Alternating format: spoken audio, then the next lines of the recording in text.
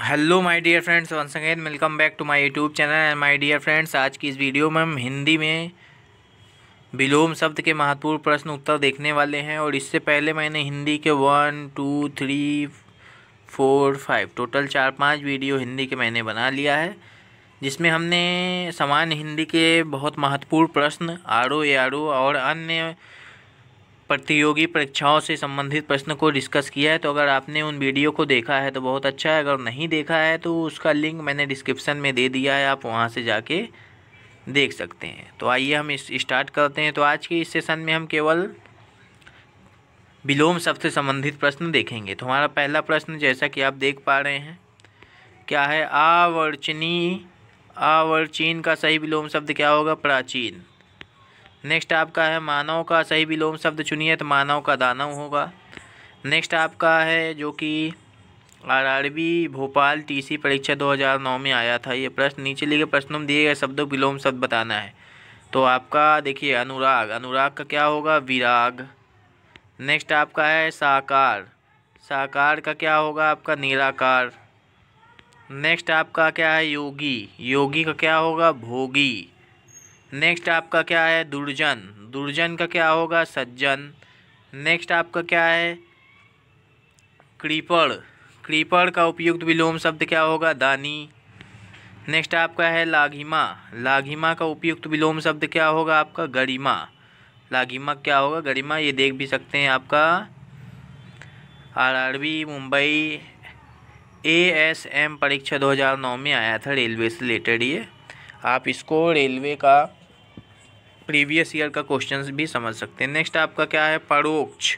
तो परोक्ष का क्या होगा आपका?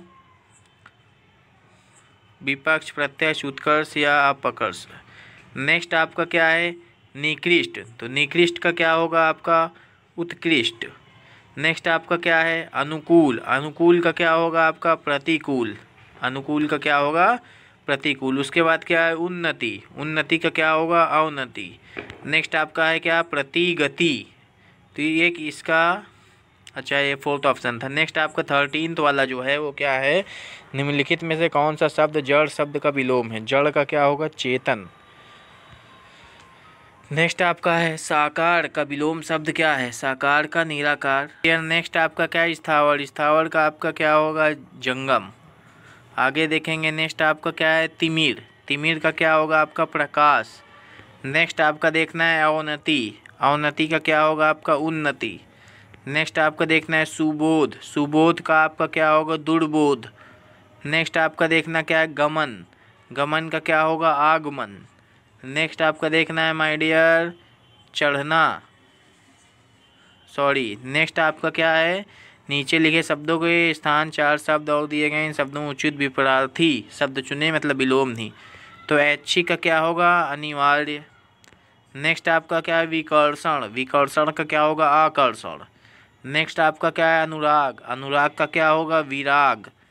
नेक्स्ट आपका क्या है? उत्कर्ष। उत्कर्ष का क्या होगा? अपकर्ष।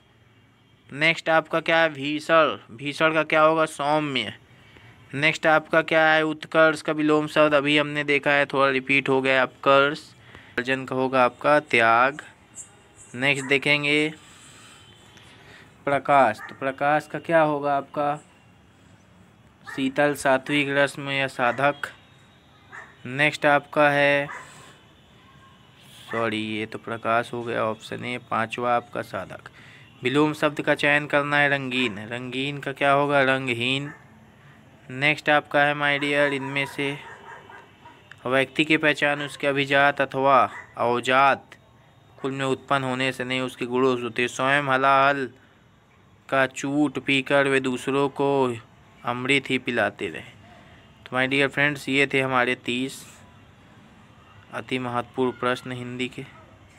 आई होप आपको ये पसंद आया होगा। तो आपको ये वीडियो कैसा लगा? आप कमेंट करके ज़रूर बताइएगा। बहुत जल्द मिलेंगे आपसे ऐसी एक नए और उपयोगी वीडियो के साथ। तब तक के लिए बने रहिए आप हमारे चैनल एल्फा स्टडी के साथ। Thanks for watching.